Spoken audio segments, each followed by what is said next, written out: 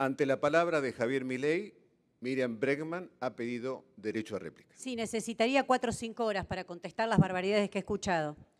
Pero voy a ir a una cuestión de fondo, porque mi ley habla mucho de la libertad, entonces me gustaría decir a qué se refiere mi ley cuando habla de libertad.